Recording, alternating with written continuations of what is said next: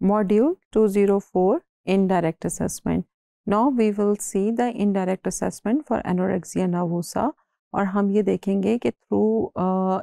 Informal assessment हम कौन से मेथड यूज़ करके एनोरेक्सिया नवोसा का डायग्नोसिस जो है वो कर सकते हैं सो so, uh, जैसे कि आपको पता है कि हम इंटरव्यू टेक्निक को यूज़ करते हुए बहुत सी इंफॉर्मेशन जो है वो गैदर करते हैं तो जब हम इंटरव्यू कर रहे होते हैं और हम हिस्ट्री टेकिंग कर रहे होते हैं तो उसमें कुछ कंपोनेंट्स ऐसे हैं जिनके ऊपर आपने ज़्यादा फोकस करना है। जिस तरह जो बच्चे की अर्ली डेवलपमेंटल हिस्ट्री है दैट इज़ वेरी इंपॉर्टेंट कि उसके जो डेवलपमेंटल माइलस्टोन्स हैं वो अचीव हुए या नहीं हुए। इसके साथ साथ उसकी जो मदर का प्रेगनेंसी टाइम पीरियड था, उसके बारे में इंफॉर्मेशन होना बहुत ज़रूरी है और जो मदर का डाइट्री बिहेवियर है that is also very important क्योंकि यूजली ये देखा गया है कि अगर मदर के अंदर इस तरह का कोई प्रॉब्लम हो ईटिंग डिसऑर्डर का तो वो सर्टन टाइम बच्चों के अंदर भी जो है वो ट्रांसफ़र हो जाता है। इसके साथ साथ ये भी देखा गया है कि ऐसी फैमिलीज़ जिनके अंदर जो क्रिटिसिज्म है वो बहुत ज़्यादा हो तो उसके अंदर भी बच्चों में आमतौर पर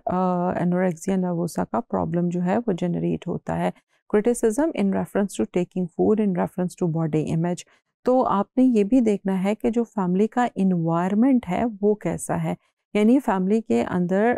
अगर सिर्फ़ पेरेंट्स हैं तो क्या ऐसा तो नहीं है कि जो फादर का एटीट्यूड है, वो towards the body image of the client जो है, वो बहुत ज़्यादा क्रिटिकल हो? या जो उसकी ईटिंग हैबिट्स हैं, उनकी तरफ़ बहुत ज़्यादा क्रिटिकल हो? So we need to be check this thing तो जो ओवर क्रिटिसिज्म है इन फैमिलीज़ वो सर्टन टाइम एनोरेक्सिया नवोसा के क्लाइंट्स में देखा गया है। तो आपने जब हिस्ट्री टेकिंग करनी है इंटरव्यू करना है तो you need to be find out these things these thing will help you to understand the causes of the problem as well as for the management plan then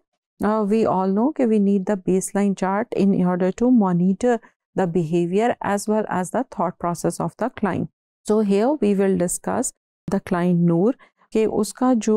behaviour है या उसके जो thought patterns हैं anorexia nervosa के अंदर वो किस किस्म के हैं? फॉर एग्ज़ाम्पल 18 को नूर ने एक स्मॉल पोर्शन ऑफ़ राइस जो था वो लिया और उसके बाद उसने क्या किया? इंस्टेंटली पर्जिंग की, जिसकी वजह से जो उसका मूड था वो डिप्रेस हो गया, ठीक है? अब जो मूड के डिप्रेशन है जो जो सैडनेस है, उसके बारे में जो उसकी इंटेंसिटी है दैट इज़ द 98 परसेंट और उसने ये जो एक्ट है for eating low portion of rice वो उसने दो दफ़ा जो है, वो उसने खाया और दो दफ़ा उसने उसको पर्च किया। जो उसका थॉट था, वो क्या था कि आई एम गेनिंग वेट ठीक है? तो जैसे ही उसके अंदर ये थॉट आ रहा था तो वो पर्च कर रही थी। देन ऑन नाइनटीन जो है नूर ने सिर्फ़ टू बाइट्स जो हैं, वो बर्गर की ली और उसके बाद क्या हुआ?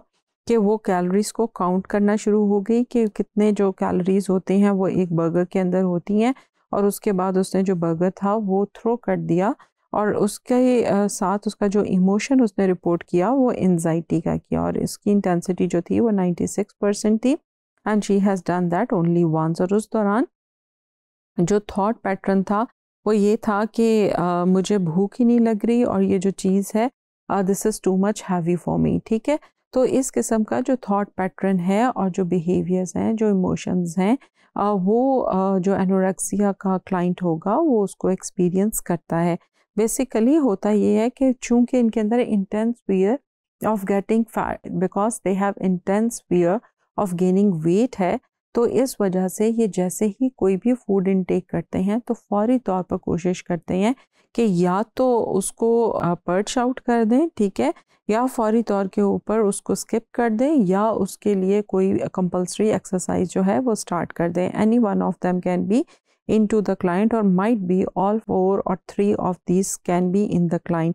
तो आपने इस चीज़ को जहन में रखना है तो आपने ये देखना है कि एंटीसीडेंट फैक्टर्स कौन से हैं और जब आपने मैनेजमेंट करनी है तो डेफिनेटली वी ऑल नो कि हमने थॉट पैटर्न के ऊपर उनके काम करना होता है बट एनोरेक्सिया नवोसा के अंदर जो बिहेवियर है दिस इज़ मोर इंपॉर्टेंट कि पहले हम उनकी बिहेवियरल मॉडिफिकेशन जो है उसके ऊपर काम करते हैं, क्योंकि जो उनकी माल न्यूट्रिशन होती है, उसको फौरी तौर पर जो है हमने कवर करना होता है। तो दैट्स वाई कि इट इज़ वेरी इंपॉर्टेंट कि हमें पता चले कि उसकी लाइफ के अंदर हो क्या रहा है? तो जब आपके सामने ये बेसलाइन चार्ट आ जाएगी तो then you will be able to understand the causes as well as the management plan of the for the client